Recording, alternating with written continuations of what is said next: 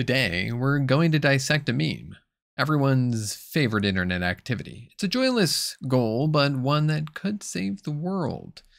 This meme is presented often by a person who would classify themselves as liberal, and I'm using it as an example of even liberals sometimes don't know science. So this one's for you, conservatives. So let's break down the meme into what it's trying to prove, what it is right about, and what it is wrong about. Let's just get into it.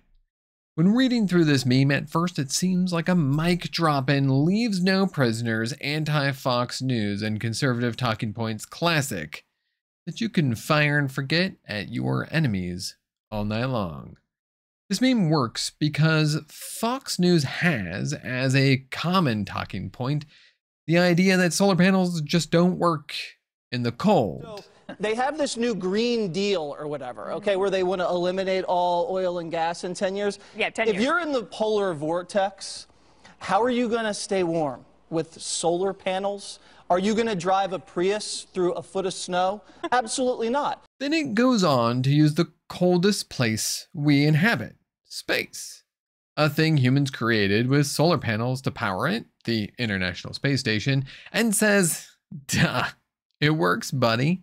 Shut your face, dummy. So far, pretty good. Fox News does say these things, and the International Space Station is in space using solar panels. So, lots of good facts there. The problem is that space isn't cold.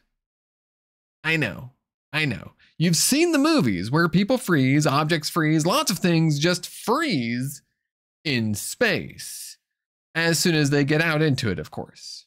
But space isn't actually cold.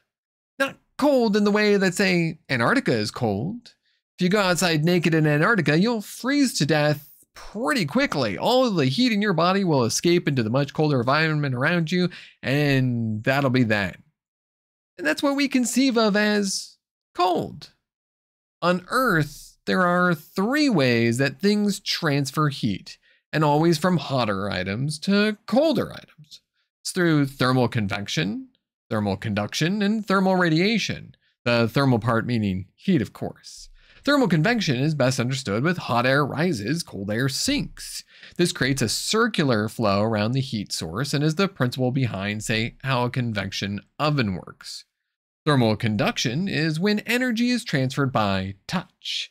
It's why you want to let your pizza cool down before just grabbing a slice and eating it when it just got out of the oven. I know I've done that. It's hot, really hot. And it's going to transfer that heat to your mouth because you couldn't wait to eat it because it's so delicious. High energy molecules, hot pizza molecules collide with colder tongue molecules and it makes those tongue molecules start moving faster from the energy transferred, cooling down the pizza, but burning your tongue. Ouch. Neither of these can happen in a vacuum, as they rely on molecules moving about. Vacuums, like space, are decidedly lacking in molecules just hanging about.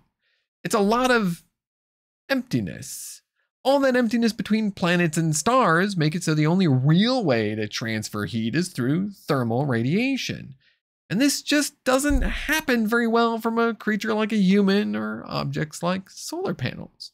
Being in space, these solar panels aren't cold. In fact, they absorb so much energy through radiation because there's nothing like atmospheres, clouds, trees, or buildings getting in the way that they are hot.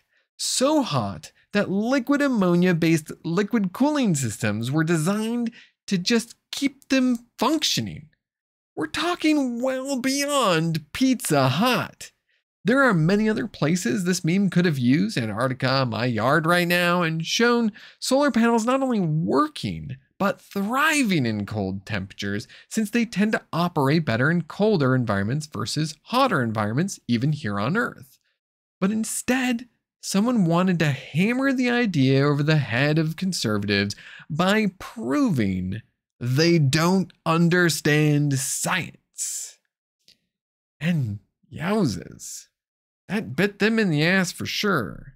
So stop using this meme. You're making the rest of the liberal world look dumb. Thank you.